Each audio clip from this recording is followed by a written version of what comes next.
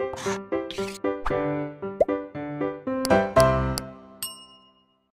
बच्चों. Welcome to our study channel blueprint digital मैं सचिन शर्मा, आपका फिजिक्स टीचर तो इंद्रधनुष इंद्रधनुष होता क्या है? तो थोड़ा सा हम समझते हैं इंद्रधनुष के बारे में.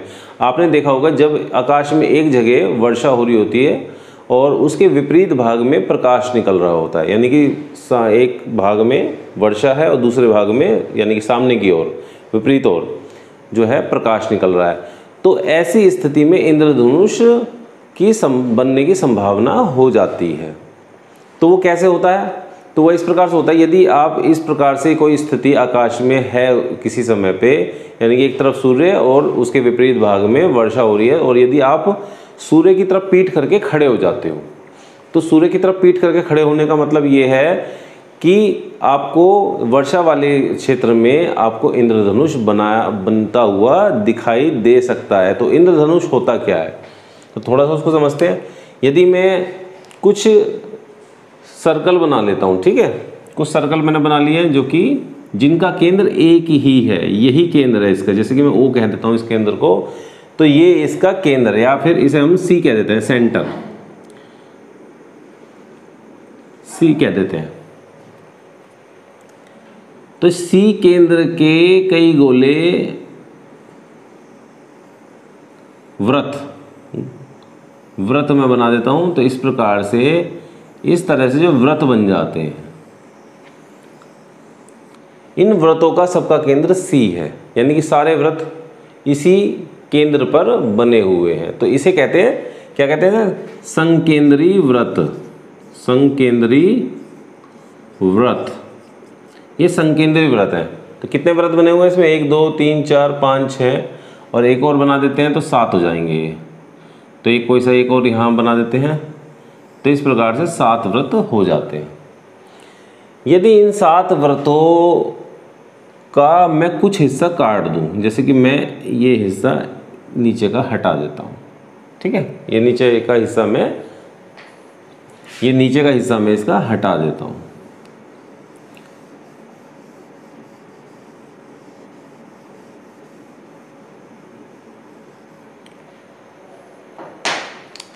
तो इस प्रकार जो ये नीचे का हिस्सा हटा देने के बाद ये आपको क्या दिखाई दे रहे हैं? ये सात चाप दिखाई दे रहे हैं आपको। क्या दिखाई दे रहे हैं? सात चाप। जिनका केंद्र कहाँ है? यहाँ कहीं केंद्र है इनका। ठीक है? तो सात संकेंद्रीय व्रत चापे। ये आपकी क्या बन गई? संकेंद्री व्रत चापे। ये सात व्रत संकेंद्र व्रत चापे बन गई और ये क्या होती हैं? ये रंगों की चापे दिखाई देती हैं। जैसे कि हम कहते हैं, यहाँ बैंगनी रंग दिखाई देता है, यहाँ इंडिगो, विब, गेयोर। हमने आपको बताया था, विब, गेयोर करके ये हमें दिखाई देती है। यानी बाहर की ओर क्या होता है? बाहर की ओर लाल रंग होता है, जबकि अंदर की ओर क्या होता है? आपका वॉयलेट कलर होता है। वॉयलेट का मतलब बैंगनी। बैंगनी कलर होता है और इसके बैंगनी और लाल रंग के बीच में बाकी सारे रंग होते हैं। तो इस प्रकार से जब आपको आकाश में इस तरह से कोई चापे दिखाई देती हैं तो इसे हम कहते हैं इंद्रधनुष। क्या कहते हैं? इंद्रधनुष। यही इंद्रधनुष है जो कि आकाश में जब भी कभी वर्षा होती है तो आप देखने का प्रयास कीजिए, किसी भी दिशा में आपको ये दिखाई दे सकता है। तो जहाँ वर्षा हो रही होगी, ये लगभग वहीं बनता है। तो आपके माता पिता ने या पेरेंट्स वगैरह ने, घर में किसी ने देखा हो तो आप उनसे इसकी चर्चा भी कर सकते हैं। तो जब ये कलर्स हमें दिखाई देते हैं तो जो है इसको हम इंद्रधनुष कहते हैं। तो इंद्रधनुष बनता कैसे है? पहले तो हम जानते हैं कि इंद्रधनुष होता कितने प्रकार का है। तो ये होता है प्राथमिक और द्वितीयक। दो प्रकार का हमें इंद्रधनुष दिखाई दे सकता है। यदि हम उनकी स्थितियाँ जान लें कि वो बनते किस प्रकार से और किस तरह से दिखाई देंगे तो हम ये पता लगा सकते हैं कि प्राथमिक इंद्रधनुष कौन सा है और द्वितीय इंद्रधनुष कौन सा है। तो पहले देखते हैं प्राथमिक इंद्रधनुष की स्थिति की, प्राथमिक इंद्रधनुष बनता कैसे है। तो जैसे कि ये हमने एक चित्र बनाया हुआ है, इस चित्र में क्या दिया हुआ है, जब प्रकाश किरण सूर्य का प्रकाश उस किसी दिशा से, किसी दिशा से सूक्ष्म गोलीय बूंद, ये सूक्ष्म गोलीय बूंद किसकी है? ये वर्षा की बूंद है, यानी कि जल बूंद है ये, जल की बूंद है ये। तो जब वर्षा होती है तो वर्षा के कारण जो आपको वायुमंडल होता है, उसमें जगह जगह वर्षा की बूंदें छोटी छोटी बूंदें जो होती हैं जो है हमारी आकाश में वायुमंडल के अंदर होती हैं। तो जब सूर्य का प्रकाश उन बूंदों पर पड़ता है सूर्य का प्रकाश उन बूंदों पर पड़ता है तो वहाँ पर अपवर्तन होता है, वर्ण विक्षेपण होता है, और साथ में पूर्ण आंतरिक परावर्तन होता है, जिसके फलस्वरूप हमें ये रेनबो दिखाई देता है। तो ये होता कैसे है? ये तो ये हमने मान लिया, ये वर्षा की बूंद है। सूर्य का प्रकाश यहाँ से पड़ता है, सूर्य की किरण यहाँ से आती है, और इस प्रकार यहाँ से इस पृष्ठ पर टकरा के ये अपवर्तित हो जाती है, यानी अंदर की ओर चली जाती है। तो सूर्य की किरण आ रही है तो वो दो प्रकार से अपवर्तित होती हैं। एक जैसे इस, ये अपवर्तित हमने दिखाई दी हैं और दूसरी इस प्रकार से अपवर्तित होती हैं।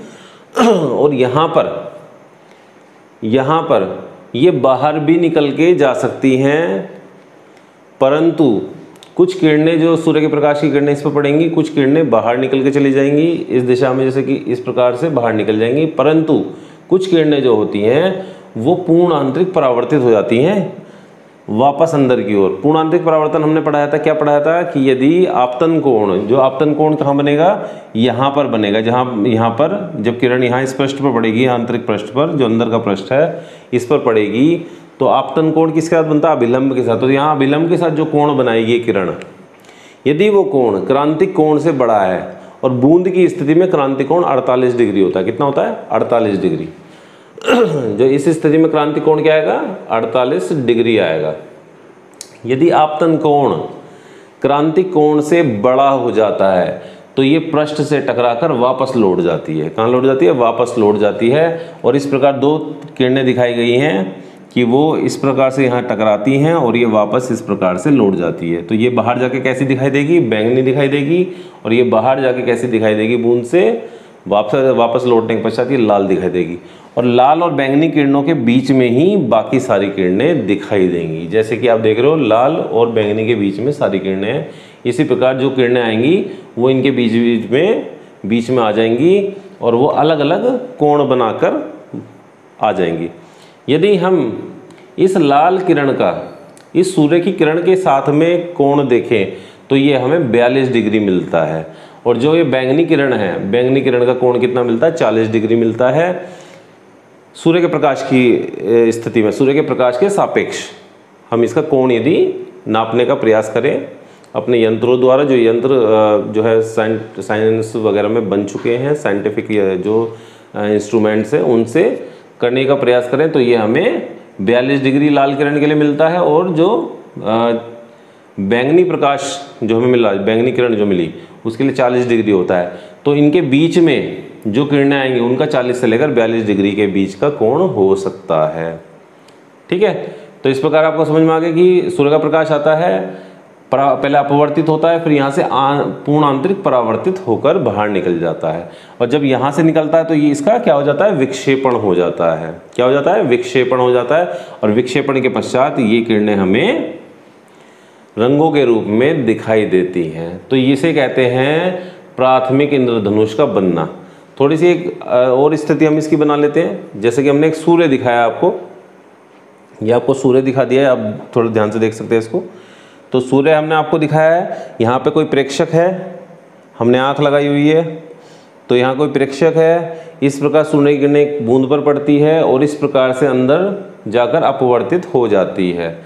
अपवर्तित होकर यहाँ पर पृष्ठ पर टकराकर ये किरण इस प्रकार से आती है और लाल रंग की किरण ये हमें दिखाई देती है आँख को।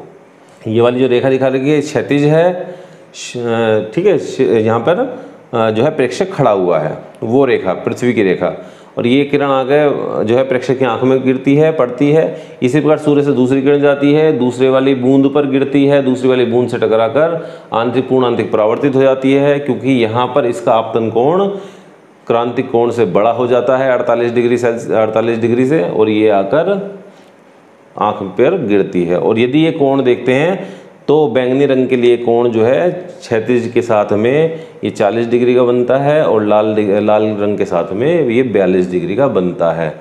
और इस प्रकार एक रेनबो हमारे हमें जो है प्रेक्षक को दिखाई देता है। ठीक है? तो इन दोनों कोणों के बीच में पाँच कोण और दिखाई देते हैं। और वो सब मिलकर एक संयुक्त रूप से इंद्रधनुष बनाते हैं। तो इसे कहते हैं प्राथमिक इंद्रधनुष का बनना। प्राथमिक इंद्रधनुष इस प्रकार से बनता है। ये बहुत ही मनोरम दृश्य होता है। मैंने भी कई बार देखा है इसको। तो आपने शायद इसको जो है कुछ बच्चों ने, कुछ स्टूडेंट्स वगैरह ने देख लिया होगा इसको, और कुछ ने, हो सकता है कि अभी तक इसका जो है दृश्य ना देखा हो। तो जब भी बारिश पड़ती है और जब धूप साथ साथ निकलती है, बारिश भी पड़ रही है, धूप भी निकल रही है तो उस दौरान आप चारों दिशाओं में अपनी छत पर खड़े होकर देखें तो आपको ये दृश्य दिखाई देने की संभावना बन जाती तो बच्चों, अब हम द्वितीय इंद्रधनुष देखते हैं, कैसे बनता है? प्राथमिक हमने देखा कैसे बनता है। एक प्राथमिक में हल्की सी छोटी सी बात हम मुझे बतानी रह गई कि प्राथमिक इंद्रधनुष के अंदर जो बैंगनी रंग रहता है वो अंदर की तरफ़ रहता है, जैसे कि आपने देखा है बैंगनी रंग कहाँ है, अंदर की ओर होता है और लाल रंग कहाँ है, बाहर की ओर होता है। तो ये हमारा प्राथमिक इंद्रधनुष बना हुआ है। तो इस प्रकार से इंद्रधनुष के अंदर, प्राथमिक के अंदर जो वोयलेट रंग होगा, यानी कि बैंगनी रंग, वो अंदर की ओर होगा और जो लाल रंग होगा, वो बाहर की ओर होगा। ठीक है? परंतु इसमें इसके विपरीत बनता है। ठीक है? यही इन दोनों की पहचान है कि इसमें क्या होगा कि बैंगनी रंग बाहर की ओर होगा और लाल रंग कहाँ होगा, अंदर की ओर होगा। यानी कि इसका विपरीत द्वितीय इंद्रधनुष बनता है। प्राथमिक इंद्रधनुष में स्थिति दूसरी थी और इन द्वितीय इंद्रधनुष में दूसरी स्थिति होती है। द्वितीय इंद्रधनुष में सूर्य से आने वाली किरणें भी बूंदों पर ही पड़ती हैं, जो वर्षा की बूंदें होती हैं बात जो वायुमंडल में हमारे बूंदें रह जाती हैं, उन पर ही पड़ती हैं। परंतु यहाँ पर आंतरिक परावर्तन केवल एक बार होता है, यानी कि एक बार में ही परावर्तित होकर ये बाहर निकल जाती हैं, जबकि यहाँ पर आंतरिक परावर्तन जो है वो दो बार होता है। पहला ये यहाँ पे इस प्रकार टकराती है, इस पृष्ठ पर आंतरिक पृष्ठ, ये वाला अंदर का तो आंतरिक पृष्ठ पर टकराती है तो पहला परावर्तन आंतरिक परावर्तन ये हो जाता है इसका। और दूसरा फिर ये यहाँ टकराती है और दूसरी बार इसका आंतरिक परावर्तन यहाँ हो जाता है और इस प्रकार ये निकलने के बाद ये अपने वर्ण में विक्षेपित हो जाती है और ये प्रेक्षक की आँख पर क्या कोण बनाती है? तिरपन डिग्री का कोण बनाती है और इस प्रकार बैंगनी रंग बाहर की ओर हमें इसमें दिखाई देता है। यानी बैंगनी रंग की चाप कहाँ दिखाई देगी? बाहर की ओर और लाल रंग की चाप कहाँ दिखाई देगी? अंदर की ओर। इसी प्रकार जब दूसरी बूंद एक और दिखाई दी है, अब दिखाई पड़ रही है आपको कि एक और बूंद पर प्रकाश की किरण पड़ती है और इस प्रकार से टकराकर पहली बार उसका परावर्तन यहाँ होता है, दूसरी बार उसका यहाँ होता है। पहला इस बिंदु पर होता है, दूसरा इस बिंदु पर होता है और इससे टकराकर ये बाहर निकलकर मनुष्य की आँख पर 50 डिग्री का कोण बनाती है। तो वहाँ पे क्या कोण बन रहे थे? 40 डिग्री और 42 डिग्री कोण बन रहे थे मनुष्य की आँख पर। यहाँ पर कितने बन रहे हैं? पचास और तिरपन डिग्री के कोण बनते हैं। तो इस प्रकार से यहाँ जो रेनबो बनता है इस प्रकार से जो रेनबो बनता है, उसमें लाल रंग अंदर की ओर होता है और वॉयलेट रंग बाहर की ओर होता है। यानी कि लाल रंग अंदर और बैंगनी रंग बाहर की ओर बनता है। इस प्रकार ये द्वितीय इंद्रधनुष बन जाता है। आगे आपको समझ में? तो इनको आप पहचान सकते हो। जब आपको दिखाई दे और इस तरह से दिखाई दे, क्योंकि आप कोण तो नहीं मेज़र कर पाओगे अपनी आँख से, परंतु ये आपको समझ में आ जाएगा किस प्रकार से ये बनता है। तो ये बहुत ही सुंदर दृश्य होता है देखना। तो जब भी आप, कभी बारिश हो रही हो और धूप निकल रही हो, तब आप इस दृश्य को अनुभव कर सकते हैं। एक बात और जो इसमें बताने के लिए है, वो ये है कि जो प्राथमिक इंद्रधनुष बनता है और जो द्वितीय इंद्रधनुष बनता है, इसमें एक खास अंतर होता है, वो ये होता है कि जब आपको प्राथमिक इंद्रधनुष दिखाई देगा तो उसकी तीव्रता ज़्यादा दिखाई देगी आपको, उसकी तीव्रता ज़्यादा होती है, यानी कि ये रंग आपको ज़्यादा गहरे दिखाई देंगे, और जो ये वाले रंग हैं जो आपको द्वितीय इंद्रधनुष दिखाएगा वो काफ़ी हल्के दिखाई देते हैं आपको। ठीक है तो दोनों में एक बेसिक डिफरेंस ये वाला आ जाता है कि ये थोड़ा सा आपको ज़्यादा अच्छा दिखाई देगा, ज़्यादा गहरे रंग दिखाई देंगे, जबकि इनके फीके रंग दिखाई देंगे इसमें।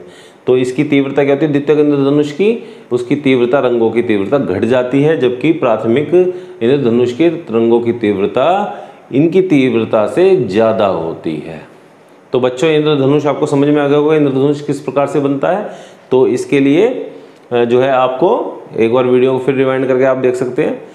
तो इंद्रधनुष का आज का लेक्चर हमारा इतना ही है। तो इसके बाद हम नेक्स्ट लेक्चर में प्रकाश का प्रकीर्णन देखते हैं जो इसका आखिरी टॉपिक है और उस टॉपिक के अंदर जो है आ, मतलब नेक्स्ट वीडियो में आपका ये चैप्टर अध्याय चार फिनिश हो जाएगा ख़त्म हो जाएगा।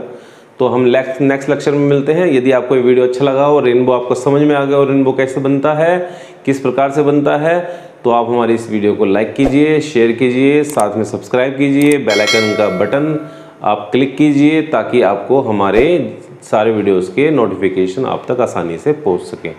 तो तब तक के लिए हम जो है आपको गुड बाय कहते हैं और नेक्स्ट वीडियो में हम कंटिन्यू करते हैं। तो join with us and continue with us